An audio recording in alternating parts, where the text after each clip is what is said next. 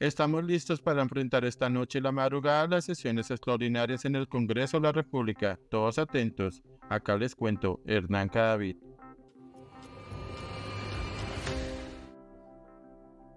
Siendo más de las nueve de la noche, estamos listos aquí en el Congreso de la República para iniciar las sesiones extraordinarias convocadas por el gobierno que van a tratar dos temas específicos. Uno, la adición presupuestal, a la cual habrá que ponerle el mayor detalle y cuidado, no sea que la utilicen para beneficiar y favorecer sectores en manera politiquera de cara a las elecciones. Y segundo, un proyecto de ley que corrige el modelo de elección de los diputados para el mes de octubre.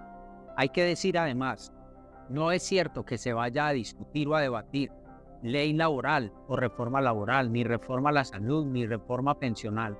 Además, agregar que con trabajo de la oposición también fue imposible para el gobierno avanzar en la ley de humanización y en ese mismo sentido en ley de sometimiento, que es el modelo por el cual están buscando impunidad para sectores específicos. Ellos saben a quiénes son y a quién quieren favorecer. Así que les iremos contando tarde de la noche y vamos para la madrugada hasta el último minuto en este trabajo de oposición les vamos informando.